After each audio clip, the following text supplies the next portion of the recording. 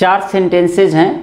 In the still of a night a thief entered my room दूसरा sentence है a mother stilled her child by giving it milk और तीसरा है some people still don't know the name of M K Gandhi और चौथा है they watched the still water in Nainital अगर मैं ये कहूँ कि स्टील नाउन भी है, स्टील वर्ब भी है, स्टील एडवर्ब भी है और स्टील एडजेक्टिव भी है। तो आप अच्छी तरह से समझ पाओगे कि क्यों है और कैसे है। दरअसल एक ही वर्ड नाउन भी हो सकता है, वर्ब भी हो सकता है, एडवर्ब भी हो सकता है, एडजेक्टिव भी हो सकता है और प्रीपोजिशन भी हो सकता है। अब इस तरह के क्वेश्चंस टीजीटी में पूछा गया था राउंड राउंड एक वर्ड लिया गया था और उसको तीन सेंटेंस में तीन क्वेश्चन बना करके पूछा गया था। और ये पूछा गया था कि यहाँ पर राउंड एडजेक्टिव है यहाँ पर राउंड एडवर्ब है कि यहाँ पर ना, राउंड नाउन है। मतलब इस तरह से पूछा गया था और मतलब बता रहे हैं कभी कभी आयोग एक ही वर्ड को कई तरह से पूछ सकता है। तो इस चीज़ को आपको जानना ज़रूरी होगा कि एक ही वर्ड अगर अलग अलग फ़ंक्शन में काम कर रहा है अलग अलग पोजीशन पर काम कर रहा है तो वो अलग अलग पार्ट्स ऑफ़ स्पीच के अकॉर्डिंग हो सकता है। जैसे इस सेंटेंस में देखो, जो पहला सेंटेंस है in the still of night still माने होता है सन्नाटा, है ना? सन्नाटा क्या है? नाउन है। आप कहोगे, कैसे नाउन है? तो नाउन क्या होता है?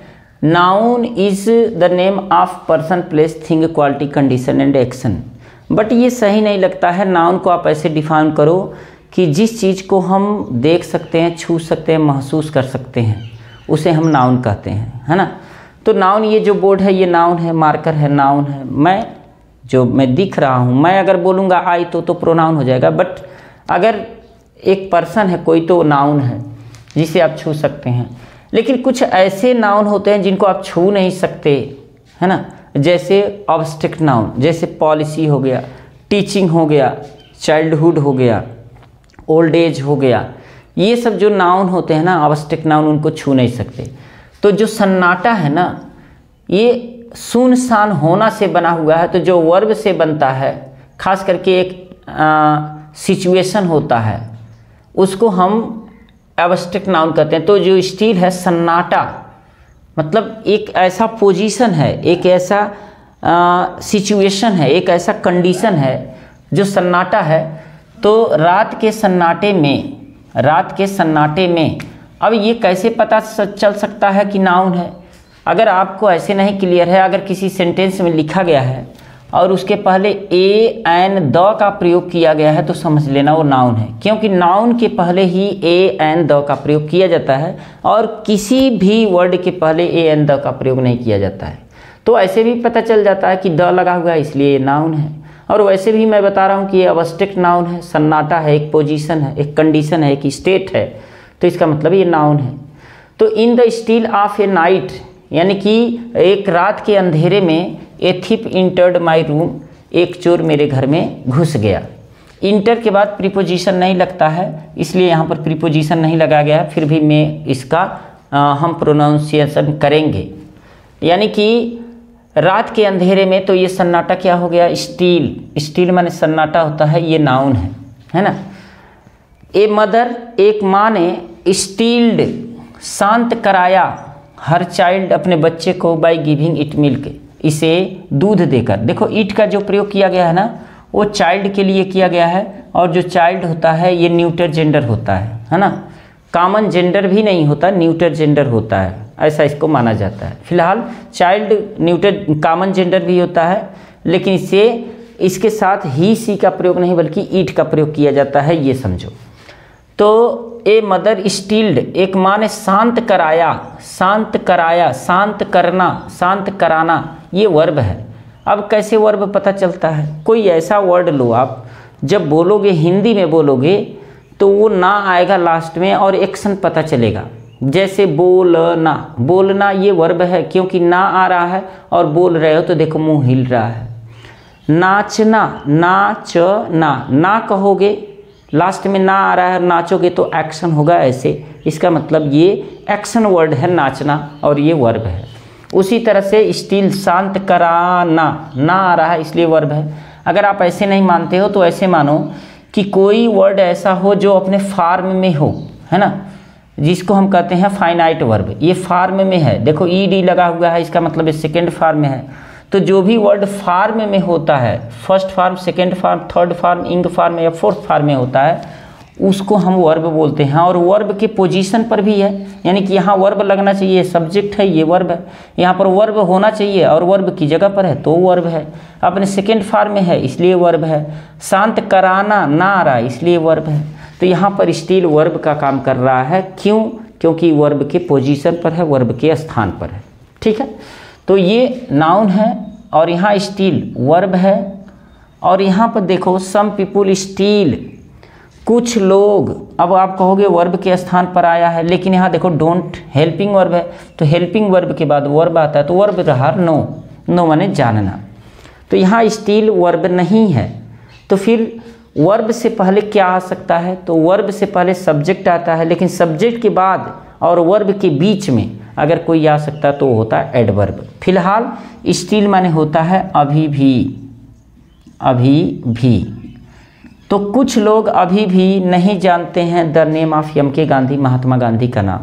कुछ लोग महात्मा गांधी का नाम नहीं जानते हैं, नहीं जानते हैं तो नहीं एडवर्ब है। है ना? क्या है? एडवर्ब है, नॉट एडवर्ब है। अभी भी नहीं जानते हैं। और अभी भी नहीं, यानी कि नहीं की विशेषता बता रहा, अभी भी, यानी कि एडवर्ब की विशेषता बता रहा है स्टील, इसका मतलब स्टील भी क्या है? एडवर्ब है। है ना? पोजीशन से भी आप पता कर सकते हो कि कैसे एडवर्ब है। क्योंकि वर्ब के पहले लगा है। तो आप कहोगे वर्ब के पहले तो नॉट लगा है। डोंट तो फिर ये एडवर्ब हुआ। उसके पहले लगा है। यानी कि इसे एडवर्ब की विशेषता बता रहा। है तो जो एडवर्ब की विशेषता बताता है, वो भी एडवर्ब होता है। यानी कि जो एडवर्ब होता है वर्ब की विशेषता बताता है एडवर्ब की विशेषता बताता है एडजेक्टिव की विशेषता बताता है। यहाँ तक कि नाउन प्रोनाउन प्रीपोजिशन कंजक्शन की भी विशेषता बताता है। लेकिन अक्सर हम लोग यही जानते हैं कि जो एडवर्ब होता है वर्ब की विशेषता एडवर्ब की विशेषता और एडजेक्टिव की विशेषता बताता है। तो यहाँ एडवर्ब की विशेषता बता रहा है, इसलिए एडवर्ब है। दे वाच्ड उन लोगों ने देखा द स्टील वाटर यानी वाटर नाउन है, और नाउन के पहले लगा हुआ है, और नाउन को क्वालिफाई कर रहा है, इसका मतलब कि ये एडजेक्टिव है। एडजेक्टिव कैसे पहचानते हैं? दरअसल किसी भी एडजेक्टिव को नाउन से पहले लगा करके हम देखते हैं कि उसको एडजस्ट कर रहा है कि नहीं, उसको मॉडिफाई कर रहा है कि नहीं। जैसे हमने कहा काला, और काला के बाद मैंने बोल दिया बैल। तो काला बैल, पीला शेर, लाल कपड़ा, यानी कि लाल कपड़ा, पीला शेर, और सफ़ेद घोड़ा, यानी कि सफ़ेद, पीला, लाल, ये किसी न किसी नाउन के पहले लग रहे हैं। जैसे सफ़ेद घोड़ा घोड़ा नाउन है, उसके पहले सफ़ेद लगा है। और ये सफ़ेद बता रहा कि घोड़ा कैसा है? सफ़ेद है। यानी कि उस घोड़े की विशेषता बता रहा है। तो यहाँ जो वाटर है वाटर की विशेषता बता रहा है, कैसा वाटर शांत वाटर शांत वाटर यानी कि ये वाटर की विशेषता बता रहा है, शांत वाटर उथला वाटर नीला वाटर है ना? ये बता रहा है वाटर की विशेषता। तो जो नाउन की विशेषता वाटर नाउन है मटेरियल नाउन है, इस नाउन की विशेषता जो बताता है, उसे हम एडजेक्टिव कहते हैं। यानी कि उन लोगों ने नैनीताल में शांत पानी को देखा। तो ये पता चल रहा है कि स्टील नाउन भी है, स्टील वर्ब भी है, स्टील एडवर्ब भी है और स्टील एडजेक्टिव ही है। इसको थोड़ा सा हम लोग डिटेल में देखते हैं। स्टील। स्टील मीन्स होता है सन्नाटा। स्टील मीन्स होता है दिलासा देना, शांत करना, बुझाना। स्टील मीन्स होता है अब तक, स्टील मीन्स होता है स्थिर, शांत, चुप। अगर हम देखें तो स्टील नाउन के रूप में जो होता है, वो होता है सन्नाटा। स्टील नाउन के रूप में सन्नाटा होता है। स्टील वर्ब के रूप में दिलासा देना, शांत करना, बुझाना होता है। जिसका सिनोनिम कंसोल सूद क्वेंच बोल सकते हैं, और स्टील एडवर्ब के रूप में होता है अब तक, जिसका सिनोनिम हिदर्टो या एट होता है, और स्टील मीन्स होता है स्टील जो होता है एडजेक्टिव के रूप में होता है, जिसका मतलब होता है स्थिर, शांत, चुप, जिसका सिनोनिम होता है स्टेबल और स्टेटिव अब ये मीनिंग हमको याद होना चाहिए कि स्टील जो है नाउन की तरह काम करता है, इसका मतलब सन्नाटा होता है। स्टील वर्ब की तरह काम करता है, इसका मतलब दिलासा देना, शांत करना या बुझाना होता है। स्टील एडवर्ब के रूप में काम करता है, इसका मतलब अब तक होता है हिदरटो या एट होता है। स्टील एडजेक्टिव के रूप में होता है, यानी कि स्थिर, शांत या चुप होता है। इसके पहले सेंटेंसेज हम लोगों ने पढ़ा है, उसको समझा है।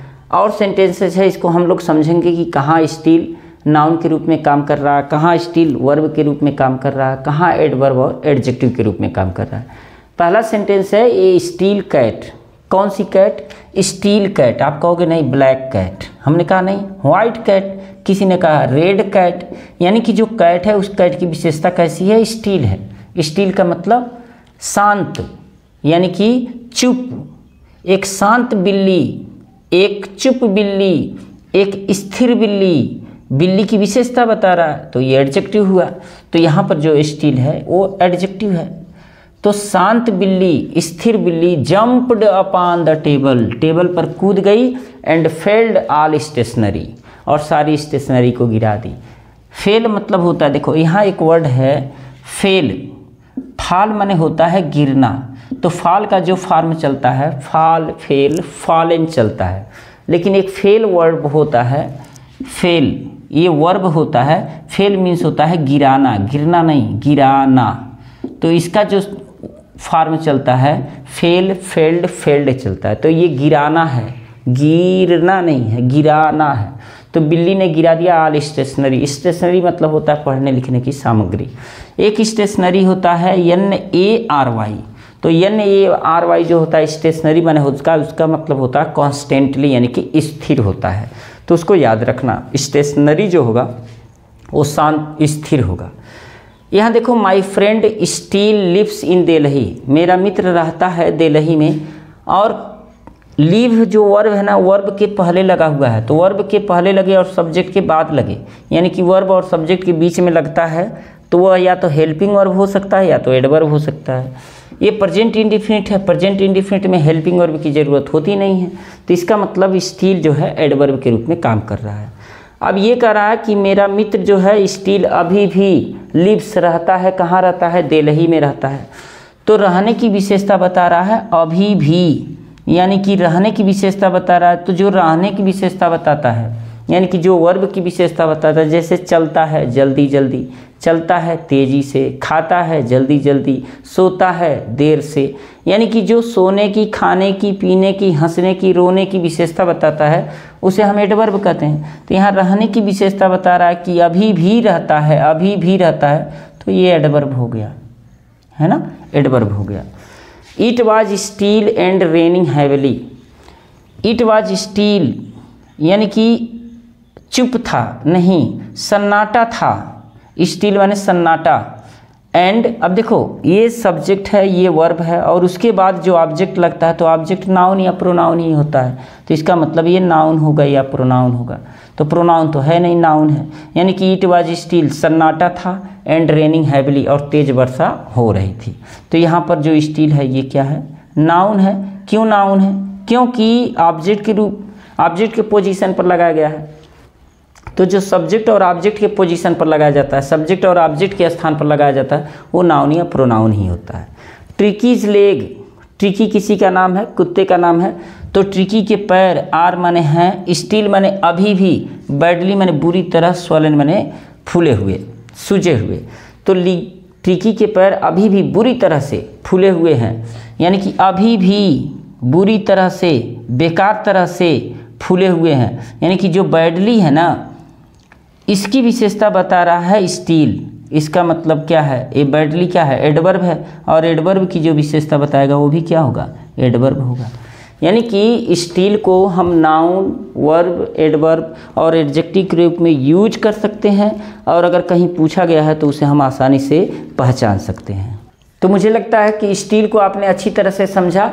कि कैसे स्टील नाउन के रूप में काम करता है, वर्ब के रूप में काम करता है, एडवर्ब के रूप में काम करता है और एडजेक्टिव के रूप में काम करता है। अगर अंग्रेज़ी पढ़ने वाले हैं तो चैनल को सब्सक्राइब कीजिए, वीडियो को मित्रों में शेयर कीजिए और लाइक कीजिए। और मिलते हैं नेक्स्ट सेशन में, प्रणाम।